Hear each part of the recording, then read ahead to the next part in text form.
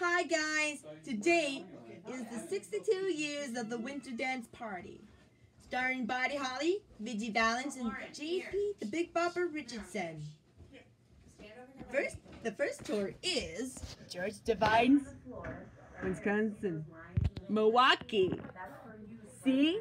Milwaukee is a stage that really belongs. So, the ballroom was opened by George Devine.